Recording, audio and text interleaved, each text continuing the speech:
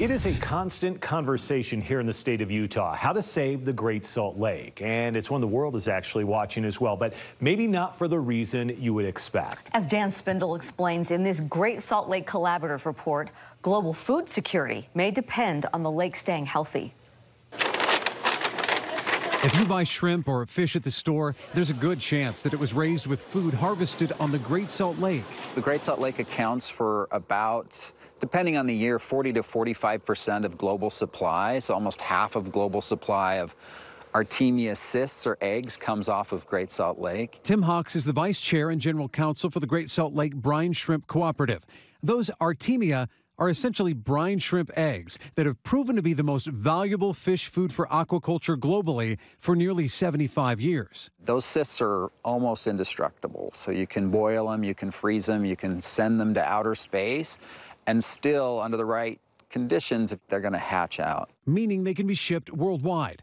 There are fewer than 20 Utah companies harvesting Artemia, but they support an estimated 10 million metric tons of seafood produced globally. If we lost the Great Salt Lake or we lost the ability to produce brine shrimp from the Great Salt Lake, it would have significant impact on our ability to feed the world. As the lake has shrunk, it has changed the salt levels. That we concentrate the salts, and that has a really, really negative impact on the biology. Bonnie Baxter is a biology professor at Westminster College and director of the Great Salt Lake Institute. She says brine shrimp and other organisms use a lot more energy to survive in saltier water. And then there's other things they can't put their energy into, like reproducing. Which means fewer Artemia and eventually fewer brine shrimp. Baxter says this high water year has helped buy the lake some time, but it's still in danger. Maybe it's not five years now, but it's certainly less than 10. Our industry is really tied to a healthy lake. So brine shrimp companies have been watching lake levels closely too, especially considering the historic low levels in 2022.